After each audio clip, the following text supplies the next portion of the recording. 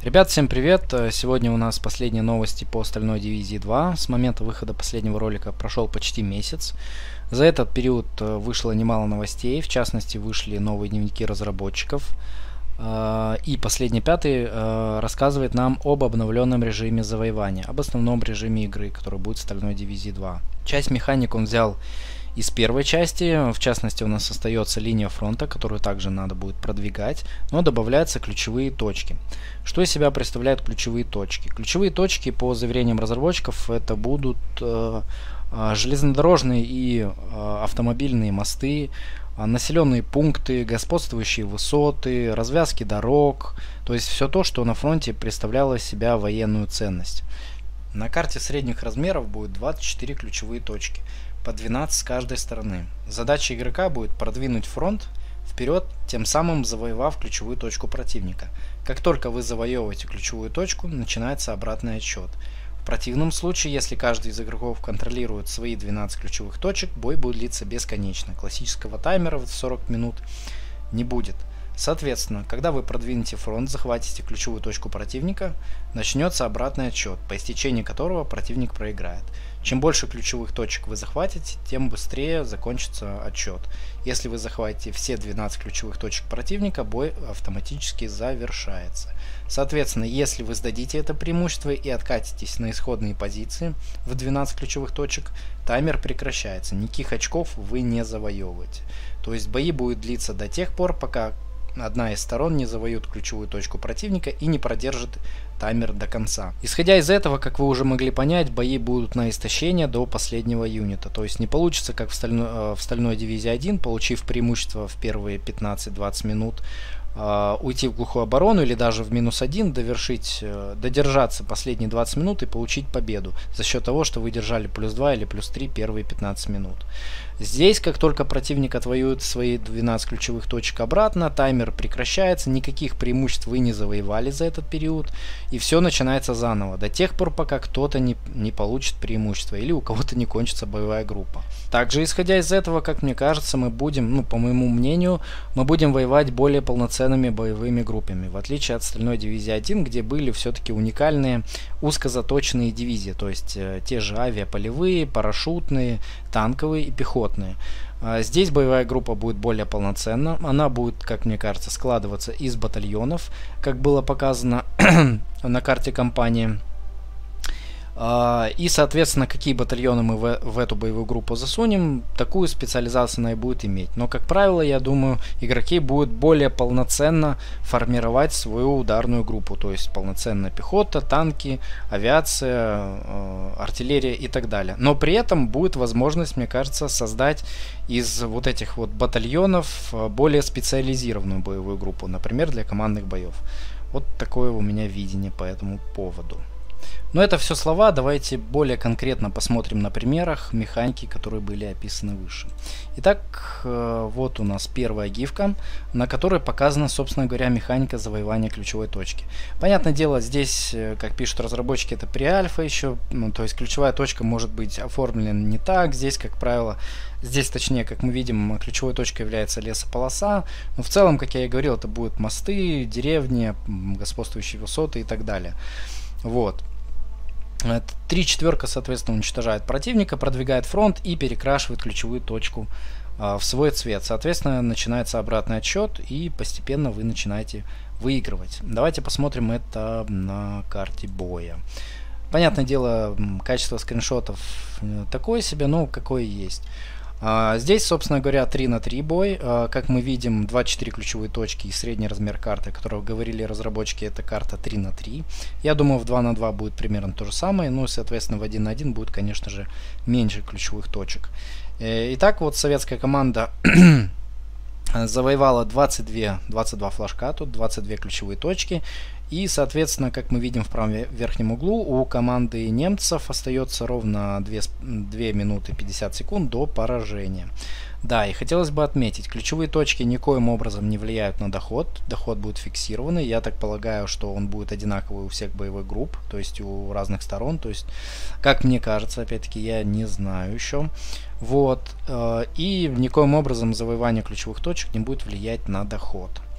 Да, и хотелось бы добавить, что этот режим примерно такой режим был э, введен южинами ранее, то есть в одной из самых первых игр по Wargame, а именно в European Escalation. Давайте посмотрим, как, да, специально установил European Escalation, чтобы вам показать примерно. Вот, здесь, конечно же, не было линии фронта, ключевые точки давали нам победу, а вот эти зоны Федор и Центр давали нам доход, как мне кажется. Ну, может, я ошибаюсь, я уже давно не играл. Просто вот э, в нашем сообществе сразу вспомнили European Escalation, и, соответственно, я вот установил, чтобы вам показать, как эта механика была э, ранее использована юджинами. Из последнего э, дневника разработчиков также стало известно, что немножко поменяли механику разведки. Теперь боевые юниты, а именно танки, бронированный транспорт, не будут двигать линию фронта и не будут завоевывать ключевые точки. То есть э, можно будет заниматься полноценными бронетанковыми рейдами, не двигая при этом линию фронта. Давайте посмотрим на гифку, которую нам предоставили разработчики. Да, вот здесь мы видим, скорее всего, Т-70 45 или Т-80, пересекающую линию фронта. Соответственно, он ее не двигает, в отличие от стальной дивизии 1, где все бронированные, вся бронированная разведка двигает линию фронта. И, соответственно, полноценные бронетанковые рейды э, за линию фронта невозможно. Здесь же конкретно будет возможно все. Можно будет проехать э, маленькой бронетанковой группой разведывательной, перекрыть э, узел дорог и, соответственно, перехватывать снабжение. Далее хотелось бы с вами обсудить один из скриншотов разработчиков, который я взял из дневников. Эм, очень интересный и показательный скриншот. Итак, здесь у нас представлен ангар или оружейка классическая, которая была в предыдущих э, сериях Wargame, серии Wargame. То есть это European Escalation, Ireland Battle и Red Dragon. И чего не было в Стальной Дивизии 1. Uh, очень удобная штука, здесь можно фильтровать те или иные юниты, сравнивать те или иные характеристики, в отличие от Стальной Дивизии 1, где нам надо было выходить из одной дивизии в другую, чтобы сравнивать те или иные. Но интересно не это. Посмотрите на цену танков. КВ-1С стоит 50 копеек. Черчилль 55 копеек. То есть, э, в отличие от остальной дивизии 1, где Черчилль э, э, стоил от 120 до 180, э, в зависимости от того или иного орудия и модификации. Более того, ИС-2 образца 43 -го года стоит 145 копеек. Почти так же, как Panzer 4H в стальной дивизии 1. Что это означает? Это означает, что, э, что цены на технику снизили ввиду массовости боев. И более того, как мне кажется, боевые группы будут э, содержать в себе большее количество пехоты и танков. Гораздо-гораздо большее, чем было в Стальной дивизии 1.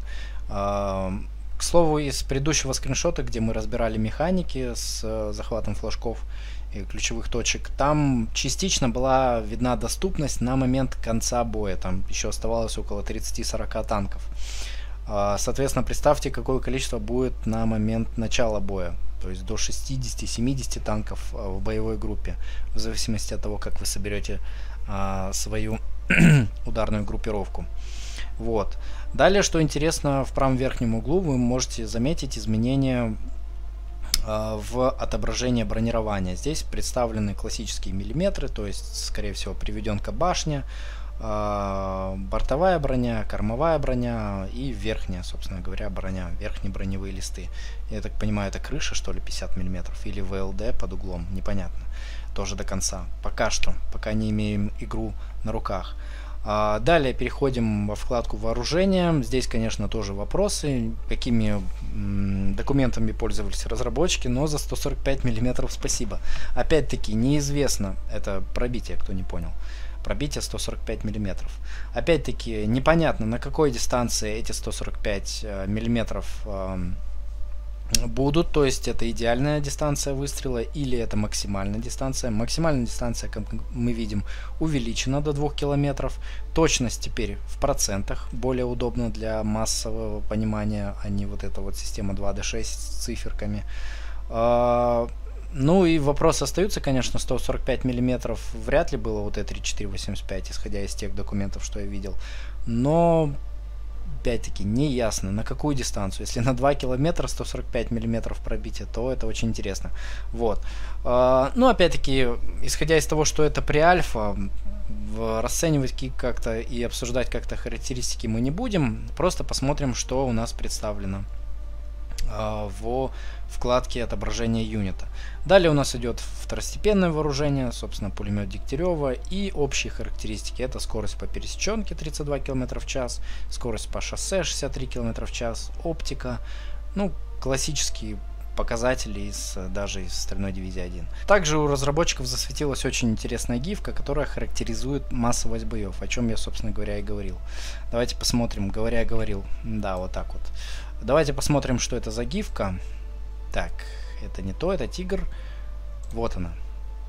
Смотрите, э, здесь у нас 8 танков и при этом э, при увеличении, соответственно, масштаба они сливаются в стак. Ну, соответственно, это не, не тот классический стак, которым мы э, управляли в Red Dragon, то есть э, там был стак э, жестко прикрепленный. Здесь просто э, при отдалении для удобства 34-очки э, показаны в виде группировки, боевой группы.